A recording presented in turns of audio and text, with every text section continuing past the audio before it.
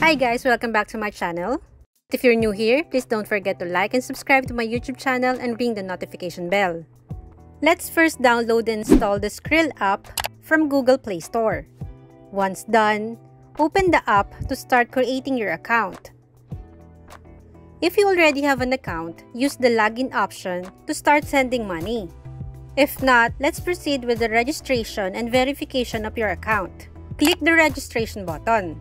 Select the email you want to use. Complete the registration by providing your details on the following pages. Click Register.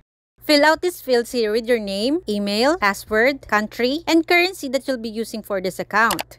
When you see the screen, open the email you used to register. I used my Gmail, so I'll open that up. And now, we can see here that the Skrill sent me an email to verify my account. Open that email and click Confirm Email here. My email was successfully verified.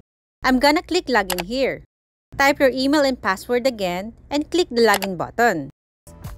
After completion, you will be asked to set your 6-digit PIN code and then confirm the PIN code. I'll click Agree here to proceed. You have just completed the registration with Skrill. You can now use the features of Skrill to send money to several countries using these options here. If you find this tutorial helpful, please like, comment, and subscribe. Thank you so much for watching and I will be seeing you in my next video.